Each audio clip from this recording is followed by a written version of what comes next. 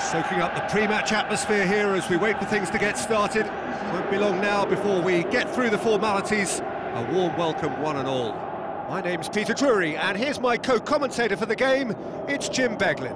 Well, I can tell you, I'm truly delighted to join you, Peter, and, and thank you very much for that.